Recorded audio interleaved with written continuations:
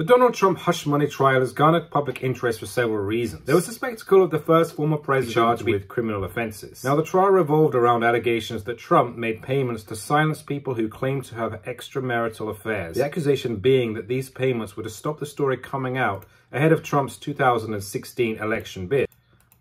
One of the elements that featured and fueled interest wasn't the legal charge of falsifying business documents. On their own, these charges would probably never have really made the headlines. It was the involvement of Stormy Daniels who made sure that the case was always given maximum coverage.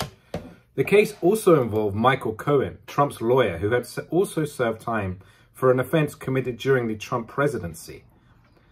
And there were other figures who were not actually called as witnesses, including the head of the Trump organization, Allen Weisselberg, and Trump's bodyguard, Keith Schiller.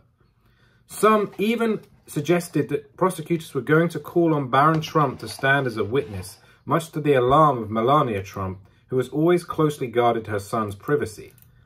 Another important player relating to the issue of hush money was Karen McDougal. The one-time Playboy playmate was related to Trump during filming of The Apprentice. Considering Trump's influence and his love of models, it wasn't long before the pair were rubbing more than elbows. However, McDougal's story had been brought by the Enquirer and never published in a process known as catch and kill to stop any negative Trump stories appearing in the media. In the end, though, it was Stormy Daniels' revelations about the alleged sex that took place in a hotel room that were a large part of the trial's sensational public interest. Although really considered a sideshow, they helped the narrative of Trump's trial.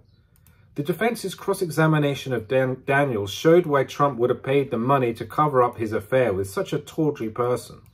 The result of this trial is that Trump stands guilty of all 34 charges and seeking a retrial that will probably take a lot of time to come through and certainly won't be until after Trump has already been sworn in as the Republican Party's candidate for the November election. Although this case may not have been as explosive as some may have hoped, it has provided enough scandal for it to have been a big story and will continue to be so for some time to come. It just goes to show that nobody cares what you do until you bang a blonde with big tits. Stay tuned for more updates, guys. Thanks for watching, and I will see you next time.